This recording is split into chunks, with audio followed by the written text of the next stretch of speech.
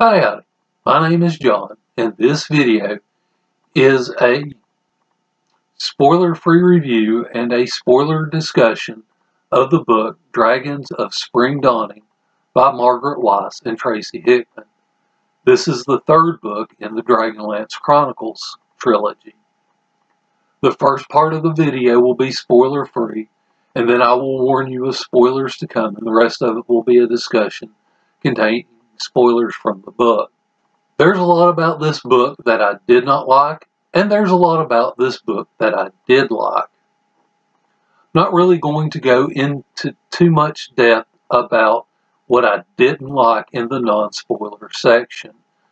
The authors made a lot of questionable decisions as they kind of plotted out this novel, and I'll talk about those one by one in the spoiler section. One thing I noted in my review of the second book, Dragons of Winter Night, is that the authors had too many characters for the reader to follow effectively. One nice thing about this novel is it actually narrows the list of characters down a little bit, just enough so that you can kind of effectively follow them. Now, some of the characters do go off the page for long stretches of time, and that does help some as well although you are kind of left wondering what is happening to them. The thing that I really liked about this novel are the interactions between characters contained within its pages. I will get to those in the spoiler section. I wound up giving this novel three stars. The bad kind of balances out the good, and while it's not my favorite read, nor will I think it will be anybody's favorite read, this is a book worth reading, mostly because of how well it sets up the later books in the series. One thing to note is I am reading this book out of the annotated uh, version. The annotations add a uh, lot to the reading experience.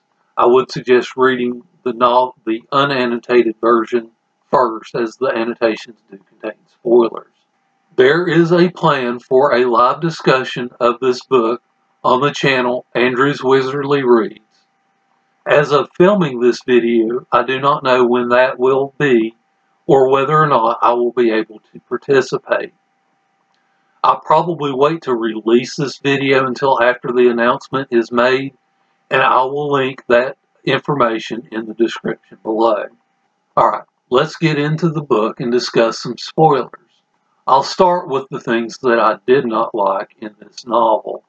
And to start out with first, I didn't really care for the uh, Everman, or Berem as his name is. I didn't really care for that storyline. Honestly, the story could have done without it. It winds up being kind of a Lord of the Rings ripoff where, you know, there's one guy or one object that kind of magically fixes everything. Really, that's kind of a problem I've had with the series uh, as well is that it seems like every dragon got fixed by a magical uh, object that had extraordinary power. The first dragon was the black dragon, and it was defeated by the uh, blue crystal staff. The next dragon was the red dragon, and you wind up having the older matron dragon attacking the younger male dragon. In the second book, you have the white dragon, which is driven off really by just a, an arrow wound, which, you know, if you've ever fought a dragon in Dungeons and Dragons, takes more than that to scare them off. The green dragon was defeated when Raistlin took charge of the dragon orb, and then the blue dragons were defeated when Laurana used the dragon orb to summon them into a trap. The next thing I want to talk about is a scene with Tanis. Tanis is actually my favorite character in the series, and but he gets on my nerves just a little bit in this novel. The scene where Tanis returns to his friends after spending several days with Kitiara, Goldmoon actually suggests to him that he get some rest so that they can leave the next morning at which point Tanis snarls at her and tells her that no one is going anywhere in this storm. Well, it turns out the very next morning, the storm has gone away, and Tanis is all ready for all of them to get on board the ship and leave so that they cannot be discovered. It's a decision that the, the authors really should have thought through a little bit more carefully. Now, the next item I did talk about in my spoiler filled discussion that I did when I first started my channel, and I'll link it in the description below. And there's actually a fairly long comment and uh, a discussion that I had with a viewer um, that defended Laurana. I personally find it unbelievable that Laurana would have been made the commander of the Solamnic Knights.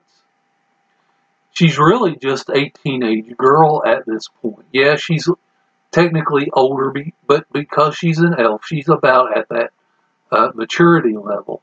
And maybe the authors were going for a Joan of Arc vibe here.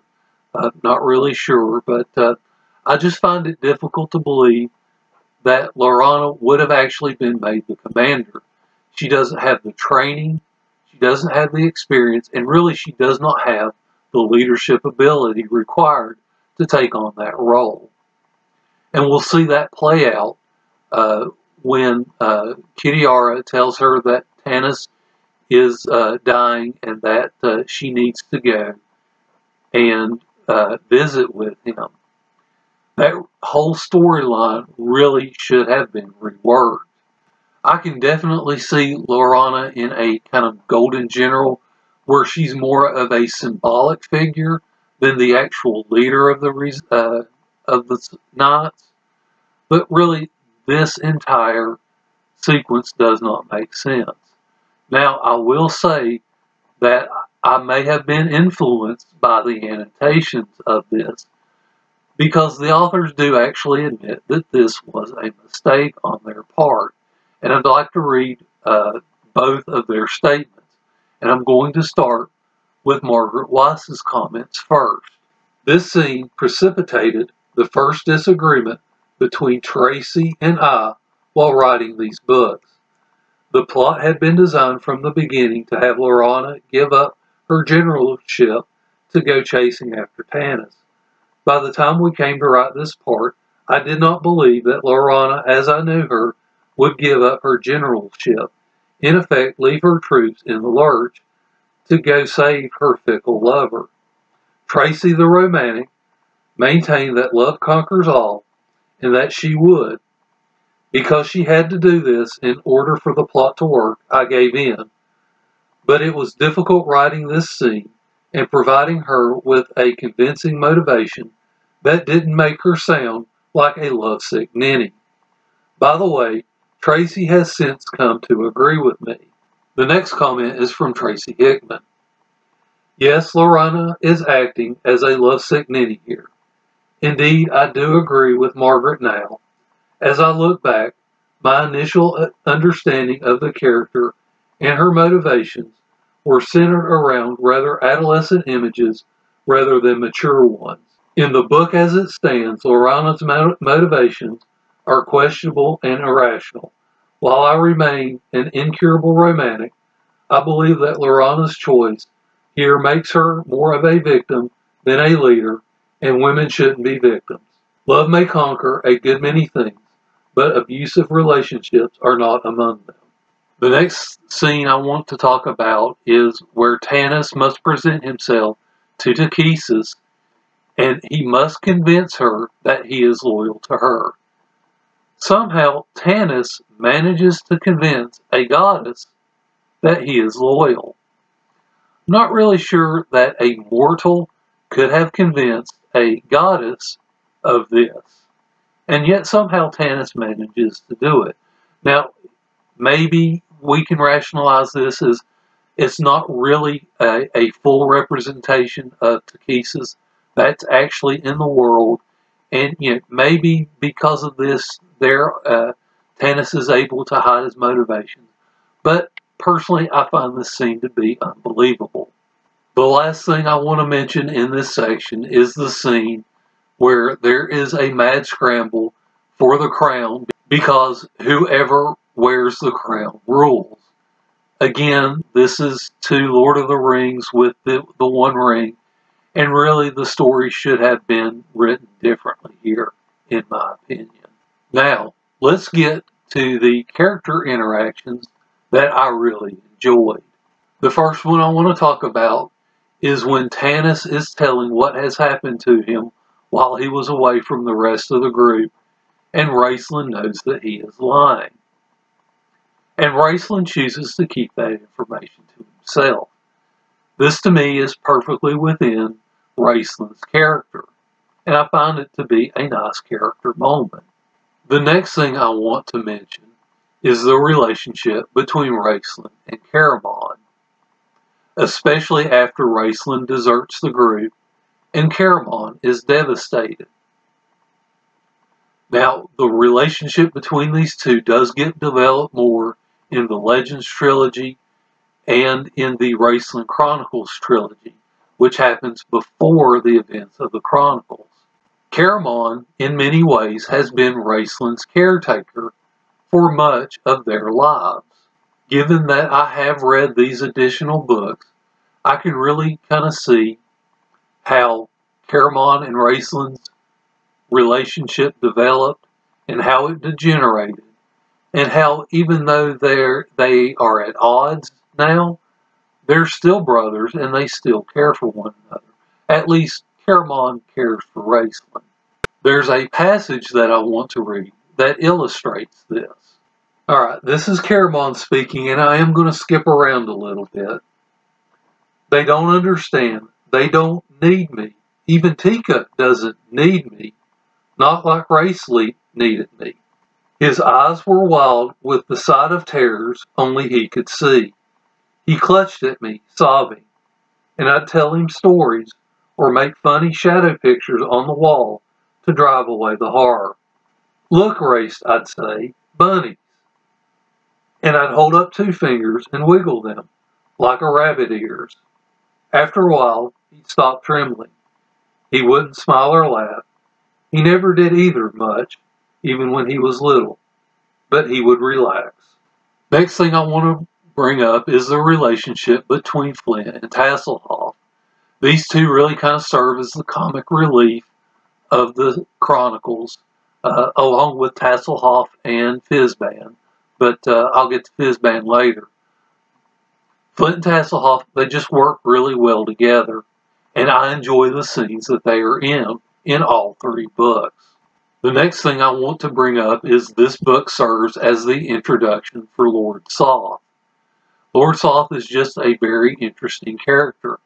Now, he will come into his own a little bit more in the Legends trilogy. I did enjoy getting to uh, this introduction to him.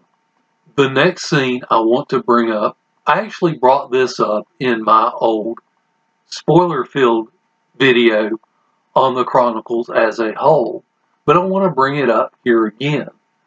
To set the scene, Tanis is questioning why the others follow him, and Goldmoon replies as follows. They were silent, watching him. Then Goldmoon stepped forward. Shall I tell you a story, half-elf? she said, resting her gentle hand upon his arm. A story of a woman and man, lost and alone and frightened. Bearing a great burden, they came to an end. The woman sang a song. A blue crystal staff performed a miracle. A mob attacked them. One man stood up. One man took charge. One man, a stranger, said, We'll go out through the kitchen. She smiled. Do you remember Tanis? I remember, he whispered caught and held by her beautiful, sweet expression. We're waiting, Tanis, she said simply. I think this passage beautifully describes why Tanis is the leader. When the situation is critical and quick action must be taken, Tanis is the one who is able to formulate a plan and get the others to carry it out. While Tanis did annoy me in this book, he actually is a flawed character, and that makes him more interesting. Now, the, the authors do point out this out in one of the annotations, and I do happen to agree. He could have handled it a little bit better, but Tanis's uh, failures do make him more interesting.